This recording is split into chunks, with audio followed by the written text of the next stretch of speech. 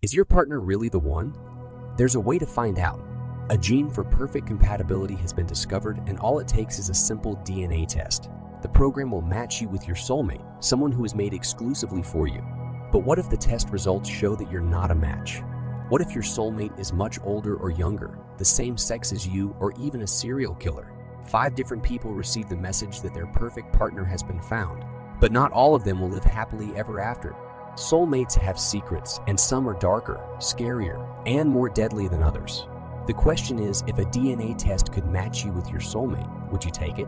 This clever and gripping story proves that true love, even with the help of science, is never easy.